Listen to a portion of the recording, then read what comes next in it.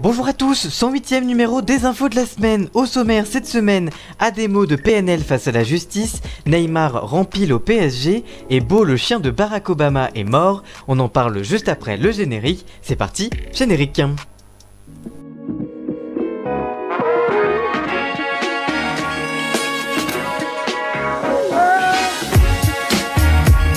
On l'a appris ce samedi, le chien de Barack Obama et star de la Maison Blanche, Beau, est mort. Beau est un chien d'eau portugais blanc et noir qui était un cadeau du sénateur Edward Kennedy à la famille Obama. Il est mort ce samedi 8 mai d'un cancer, annoncé Barack Obama sur les réseaux sociaux. Ce dernier avait promis à ses deux filles, Malia et Sacha, qu'elle pourrait avoir un chien après sa victoire aux élections en 2008, et Beau a fait son entrée dans la famille. Il écrit sur Twitter, je cite, Aujourd'hui, bon c'était samedi, notre famille a perdu un véritable ami et un compagnon loyal. Pendant plus d'une décennie, Beau était une présence constante et douce dans nos vies.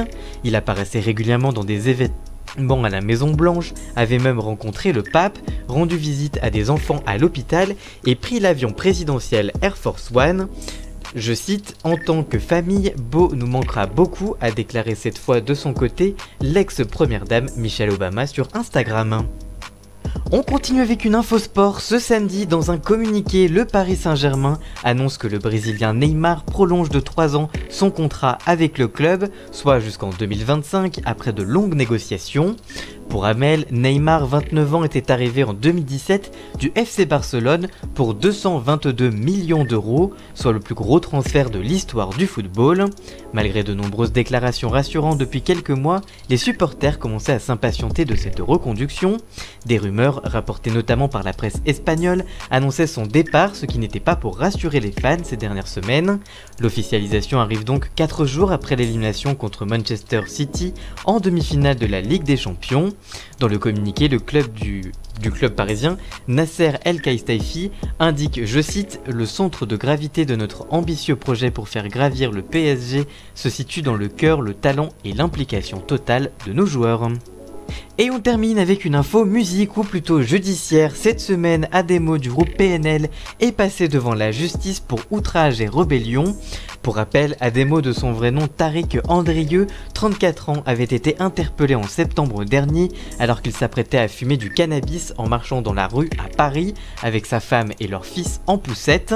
Les images de son arrestation avaient beaucoup circulé sur les réseaux sociaux, en le voyant notamment se montrer virulent envers les policiers, puis se faire plaquer au sol pendant que des passants invectivaient les forces de l'ordre. À la barre, un policier a fait part des menaces qu'il avait reçues sur les réseaux sociaux de la part de fans appelant à retrouver les policiers.